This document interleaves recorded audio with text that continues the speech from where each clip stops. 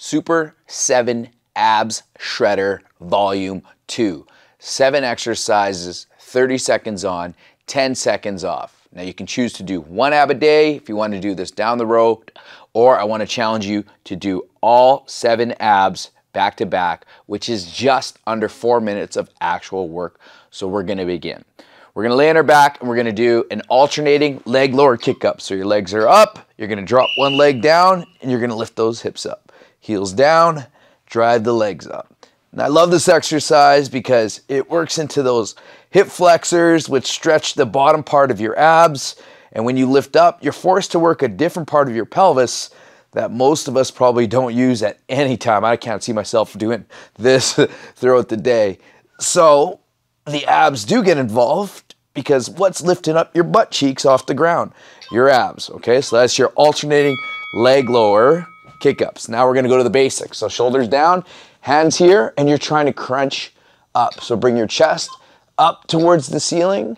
You want to engage those abs. I Don't just, you know, rep off a bunch of reps. I just want you to going up and squeeze. So when you're doing it, you're just lifting and pressing, You'll press your belly button into the floor and lifting your chest up towards the ceiling.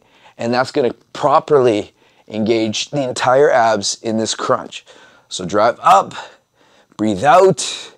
Every time you crunch up, your goal in about 30 seconds is between 20 and 30. If you're doing more than that, you're probably not doing them right. Okay, we're gonna do a side crunch. We're gonna lay on our left side here. We're gonna bend the knees and we're gonna focus on the right side. So I like to get a bit of a stretch. So shoulders down, and again, we're crunching up. A lot of people kind of just do this but you're not really working the abs properly because they're not properly stretched. So what we're doing is we're stretching out the abs so that you feel that pull, and then you're feeling that stretch and you're trying to shorten that stretch. And that's basically how a workout works. Is that imagine my arm is stretching all the way out and it's coming all the way in. The same thing happens with that core. If you want to effectively work those abs, then you have to stretch those abs and then you have to fully shorten them. Okay, we're gonna get to the other side. Boom. All right. So now we're gonna get onto that right side. You do the old pivot on the butt cheeks. Okay, right hand down, knees bent. Feel that stretch. And then we're gonna crunch up towards the ceiling. So your eyes should be up the ceiling. Again, doing this, you're not gonna feel that, okay? You wanna stretch out the abs, drop the elbow back, and you're just driving your chest up towards the ceiling, feeling that stretch into your core. Stretching to your core, driving up. Good. And we're halfway there, guys. Keeping those knees nice and bent, feeling that pinch as you drive in into the side fat, squeezing, squeezing, squeezing. Good. All right, next one, we're gonna go on our stomach. And you guys have done a Superman with me, but we're gonna do a Superman twist, okay? So the feet are gonna go down, hands are down, and you're gonna go up and twist, okay? Now I've got a soft surface here. Just power through it right now.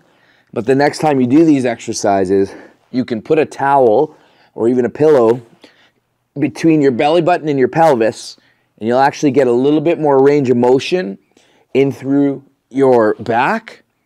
But otherwise, up and squeeze, and we're focusing on the extension, but we're also working on the muscles that cross into that low back. Good. All right, this one's a little tougher. We're gonna go into a plank position. Okay, if you need to be on your knees, be on your knees. Okay, and you're just gonna slide one arm out slide one leg up. But otherwise, let's challenge you to get up into that plank position, stabilize your core. Now, the feet of your, the wider your feet are, the better. And so what you want to do is slide one hand at a time. Now, you don't have to rush through this. The key here is that you're feeling that extension, okay? You're feeling that complete stretch between your hands and your feet. Suck that belly button into the ground. Keep it in nice and tight. And we're almost there. That's it. Keep that butt down. Slide it out. Good. All right, let's get you guys onto your back. And we're gonna do what's called a suitcase crunch. So the modification version is you just lay on your back, keep your low back flat, but otherwise try to get up and drive one knee in towards the chest. One knee in towards the chest. So coming up and across. There you go, guys. Working the abs, knees up, drive it up.